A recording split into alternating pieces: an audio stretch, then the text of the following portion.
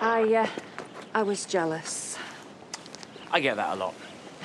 Not of you, of your role here. You still think of it as yours.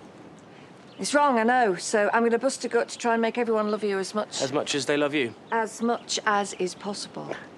It's too late. I don't fit in here. Well, I'll, I'll help you fit in. I'm not sure I want to. This isn't really my scene. I like it urban and gritty.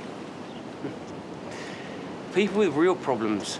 If you can't see the people here have got real problems, then you really don't belong. She gets it. I agree.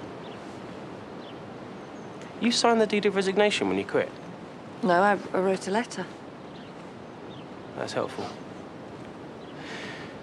I'm going to call Uncle Barry.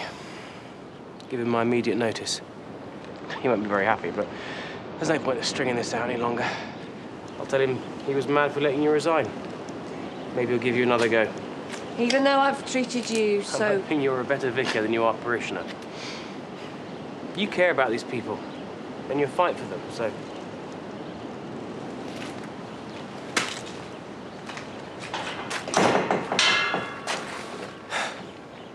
Good luck.